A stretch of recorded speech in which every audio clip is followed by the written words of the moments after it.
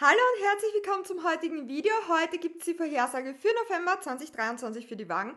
Ich möchte das Video heute ein bisschen anders gestalten als sonst. Ja, ausnahmsweise, dieses eine. Ich fange an mit einer Orakelkarte aus meinem Lieblingsorakel aus dem African Goddess Rising Oracle.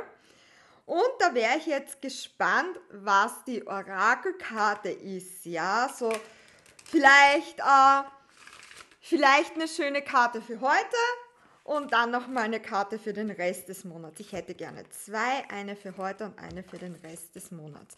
Die für heute, Oshun, Fearless Love. Sage ich gleich, ja, was dazu im Guidebook steht. Und die für den Rest des Monats, was haben wir da?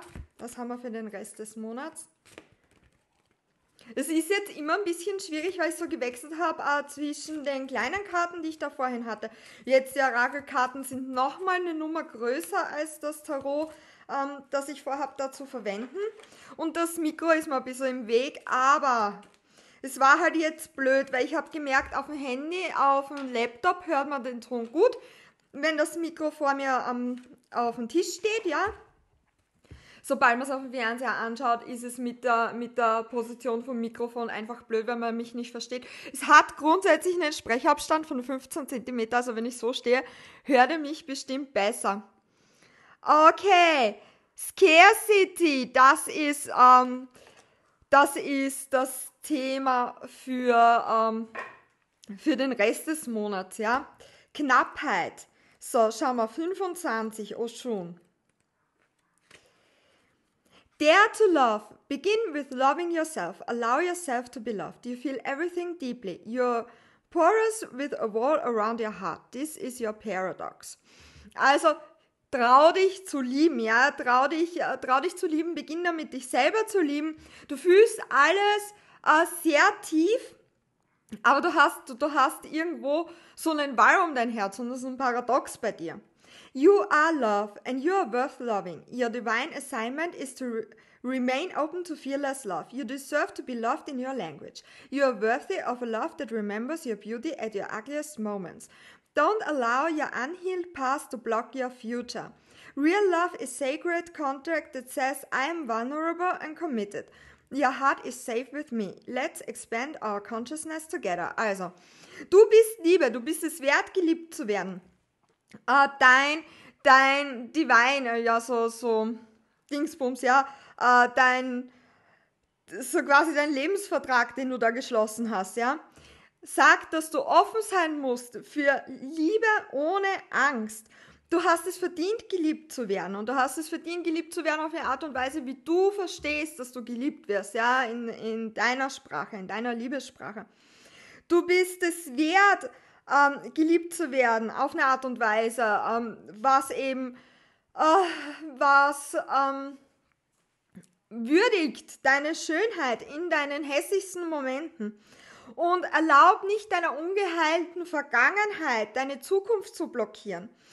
Echte Liebe ist heilig und äh, dieser heilige Vertrag der echten Liebe sagt, ich bin verletzlich und ich ähm, I'm committed. Ich, ähm, ich gebe da was rein, ja. Also ich, ähm, ich hänge mich rein. Und dein Herz ist sicher mit dieser Person. Und lass uns gemeinsam unsere, unsere Wahrnehmung, unser Bewusstsein erweitern. Und dann haben wir 21, das weiß ich schon. Ähm, Knappheit ist eine Illusion. Das weiß ich schon auswendig, was da drin steht. Moment, Knappheit ist eine, ist eine Illusion. Du hast so viel mehr, als du weißt, ja, als du, als, das ist so eine vier der Kelche, ja. Du hast äh, Zutritt zu unlimitierter Freude, zu Liebe, zu guter Zeit, zu schönen Aktivitäten. Und äh, du solltest dankbar sein für die Reichtümer, die du hast. Ja, das ist so eine typische Vier der Kelche-Situation. Hör auf, zum, zum Ozean zu gehen und für einen Becher voller, um einen Becher voller Wasser zu fragen, ja. Und zum Ozean gehst, dann nimm dir nicht nur so ein Becherchen voll Wasser, sondern nimm dir gleich einen ganzen Kübel, ja. Äh, es fühlt sich nicht so an, wenn du verzweifelt bist. Aber Knappheit ist eine Illusion. Es gibt überall um uns herum Reichtum. Es gibt einen Überfluss an Reichtum. Es gibt mehr als genug Liebe, Fröhlichkeit, Wohlbefinden und Geld. What goes around comes around to come around. Ja, es gibt genug Geld. There's enough money for everyone. Vampire nehmen von anderen, weil sie selber keine Lebensenergie haben. Äh, das ist so ein Mindset von Knappheit. Wenn du Knappheit verkörperst, dann wirst du immer hungrig, müde und eifersüchtig sein. Mach eine Liste, wofür du dankbar bist. Wofür bist du jetzt gerade in diesem Moment dankbar? Und die, Affirmation, die Affirmation dazu ist, ähm, meine Gaben fließen immer über. My blessings always overflow. Das ist deine Novemberkarte für heute. Oshun, Fearless Love und für November äh, diese, eben diese Entsprechung der vier der Kelche, ja. Dann sucht man sich noch was Aufmunterndes raus, weil ich denke, ich denke, es aufmunternde Sachen, bevor man sich jetzt da das Tarot schnappen und da jetzt wirklich tief reinschauen, ähm, das ist jetzt noch wichtig. Was solltest du noch hören? Schauen wir jetzt noch ins Beyond the Surface Oracle. Was noch so Sachen sind, äh, die du dringend hören solltest jetzt? Was ist es? Was solltest du jetzt dringend hören? Und dann zum Schluss nehmen wir eh das Tarot, ja? Wir schauen dann zum Schluss ins Tarot rein. Was ist es, was du jetzt hören solltest? Außer, dass du geliebt bist und dass deine Gaben überfließen und dass es keine Knappheit gibt und dass du so geliebt bist, wie du es verdient hast. Was haben wir da noch drinnen? So, was haben wir da noch? Your inner world is safe, embracing all your emotions to create a state of overflow. Also, die Welt, die in dir drinnen ist, deine Gedankenwelt, ist sicher für dich, ja? Und in deiner Gedankenwelt kreiere so einen Status, wo alles überfließt. Das haben wir gerade vorher auch gehört, ja? Das ist dasselbe. Go for it. Strike when the iron is hot, ja? Versuch, versuch, solange solang das Eisen heiß ist, ja? Versuch zu Ende zu bringen, was du angefangen hast und alle Sachen ähm, zu erledigen, die du zu erledigen hast, solange das Eisen noch heiß ist. You are electrifying. Allow your talent to do the talking, ja. Du bist gut in dem, was du tust. So, und dann schauen wir jetzt endlich ins Tarot, was das Tarot dazu zu sagen hat. Wie gesagt, mit diesem Video ausnahmsweise ein bisschen anders angefangen. Schauen wir sich an, was das Tarot zu dieser ganzen Sache dann noch zu deinem November 2023 noch zu sagen hat. So, einmal noch mischen. Ich muss jetzt tatsächlich noch einmal mischen. Warum auch immer.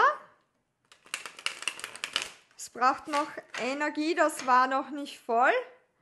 Schauen wir sich noch, noch schnell an, was da noch aus dem Tarot noch rausplumpst. So, was kommt da? Was kriegen wir aus dem Tarot noch raus? Ihr seht, ich schaue heute ein bisschen fertig aus, weil ich heute den ganzen Tag unterwegs war, aber ich wollte jetzt unbedingt noch das Video machen. Vier der Schwerter als Hauptkarte stillhalten. Eine Situation, in der du drinnen hängst. Ja, eine Situation, in der du dich äh, gefangen fühlst, ist jetzt falsch gesagt, in der du drinnen hängst. In dieser Situation sollst du jetzt mal ein bisschen die Füße stillhalten, ja.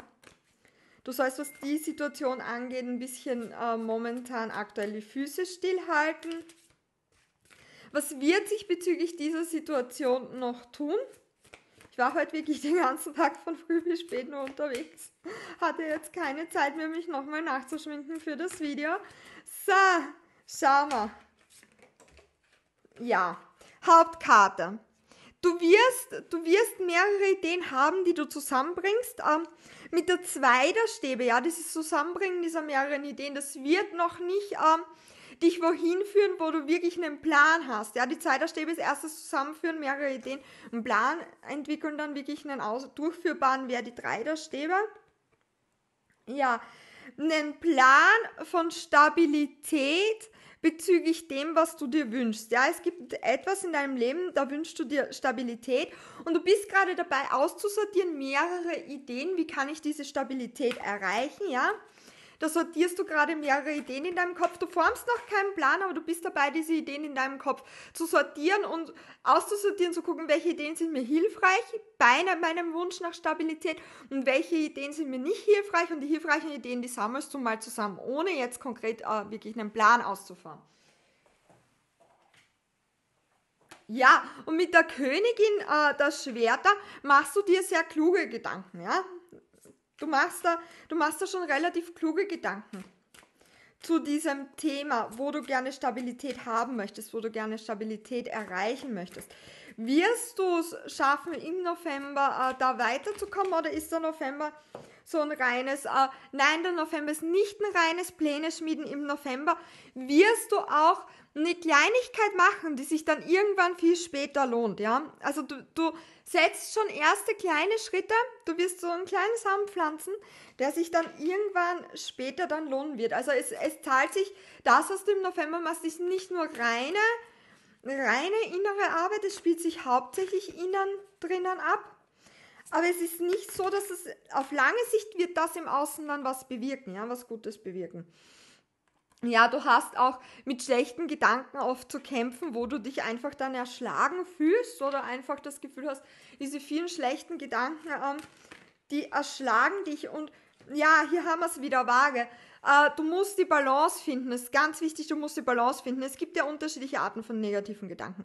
Es gibt ja negative Gedanken, die nirgendwo hinführen und die keinem Menschen irgendwas bringen und die dich einfach nur aus der Balance werfen, aus der Bahn werfen, dich runterziehen.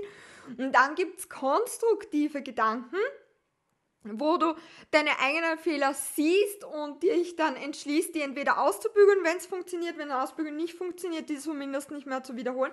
Und das sind dann konstruktive negative Gedanken, jawohl. Ass der Schwerte, der Beginn von neuen konstruktiven Gedanken, ja. Und du musst einfach die negativen Gedanken, die keinen Sinn haben, die keinen Zweck haben, die dich nirgendwo hinführen, die dir nichts Gutes tun, die musst du gucken, dass du die aus deinem Kopf rauskriegst. Und diejenigen Gedanken, ähm, die du Asterschwerter, Asterpentakel nutzen kannst, ja, damit du für die Zukunft ähm, mit der Vierterstäbe dein stabiles Fundament baust, das du gerne haben möchtest, mit der Königin der Stäbe. Ähm, ja, dafür ist das, ist das wichtig, dass du, ähm, dass du da diese Gedanken erst aussortierst, dich ausbalancierst und dann einfach nur die konstruktiven Gedanken rausfischt und den ganzen Rest einfach sein lässt. Mit dem Ritter der Schwerter, du sprichst auch über die Gedanken, die du hast. Du sprichst auch, du sprichst auch diese Dinge aus, die du da hast, ja.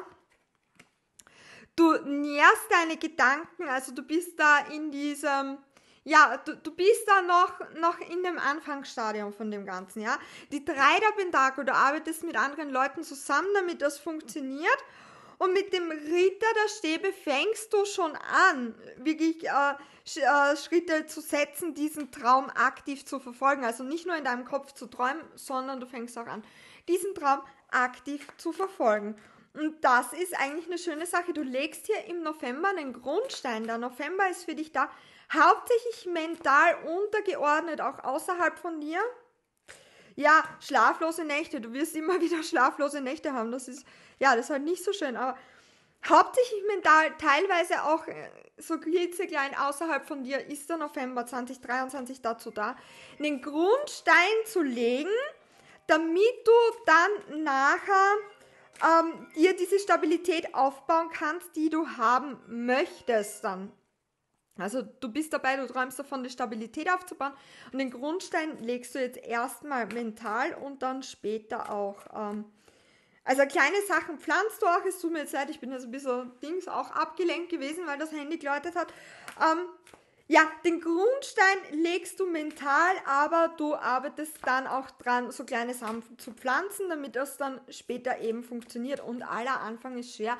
Und ich denke, dein November ist nicht mehr ganz der Neuanfang, weil die Entscheidung, einen Neuanfang zu wagen, die hast du ja schon getroffen und die ersten Schritte, die diese Entscheidung zementieren, bist du schon gegangen. Also du hast schon einige Zeit zurück die Entscheidung getroffen, einen Neuanfang zu, zu gehen. Du hast dich schon entschieden, in welche Richtung soll das gehen und du bist die ersten Schritte dahin schon gegangen.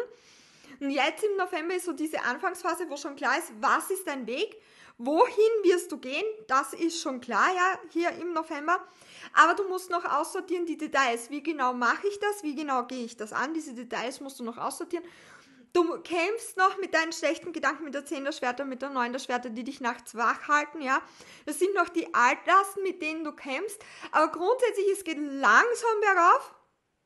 Es geht wirklich langsam und in Trippelschritten bergauf. Aber es geht bergauf und du gehst jetzt nicht den ersten Schritt und ich denke, du gehst auch nicht mehr den zweiten, du gehst schon den dritten oder vierten Schritt hier im November.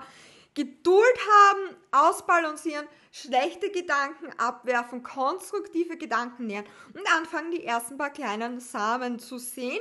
Und auch wenn das jetzt vielleicht nicht so spektakulär wirkt oder vielleicht nicht so ereignisreich aussieht, es ist eine riesengroße, fette Sache und es ist eine Sache, die sich dann irgendwann später im Verlauf, die sich irgendwann dann nächstes Jahr, und da werden wir zu Silvester reingucken, äh, irgendwann nächstes Jahr dann anfangen wird auszuzahlen, anfangen wird zu lohnen, wo du dann die ersten Früchte dann ernten wirst können. So, wenn dir dieses Video gefallen hat, freue ich mich wie immer über ein Abo und ein Like.